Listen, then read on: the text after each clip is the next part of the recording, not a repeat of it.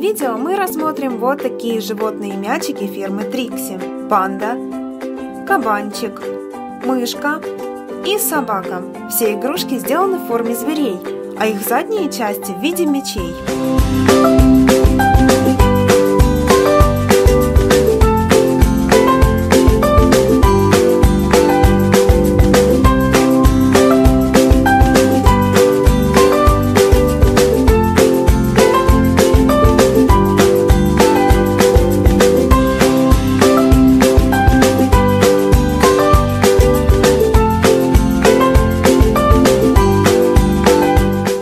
На голове каждого животного расположена смешная антенна. Сделаны игрушки из латекса и внутри содержат пищалку.